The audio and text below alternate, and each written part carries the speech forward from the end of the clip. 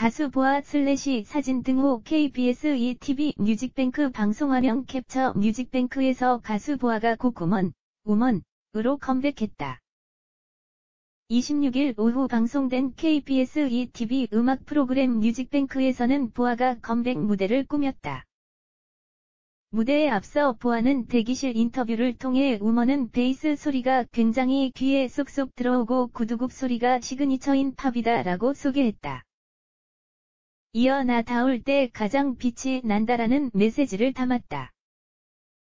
많은 분들이 듣고 힘을 내주면 좋겠다고 덧붙였다. 이날 보아는 수록곡 홧김에로 컴백 무대 포문을 열었다. 이어 우먼 무대를 선보였다. 보아는 우먼으로 소녀의 이미지를 달비, 당당한 여성상을 제시해 눈길을 끌었다. 보아의 곡 Woman은 경쾌한 사운드에 보아의 시원한 보컬이 잘 어우러진 팝 댄스 곡이다. 보아가 직접 작사한 가사에는 당당한 여성의 모습을 담았다.